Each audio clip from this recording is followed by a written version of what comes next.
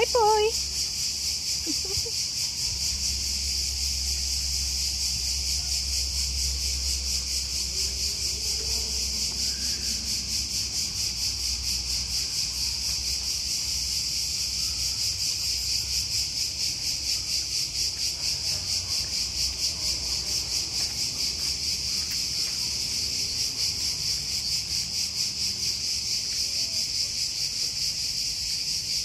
Did you eat Henrietta? You ate. Good girl.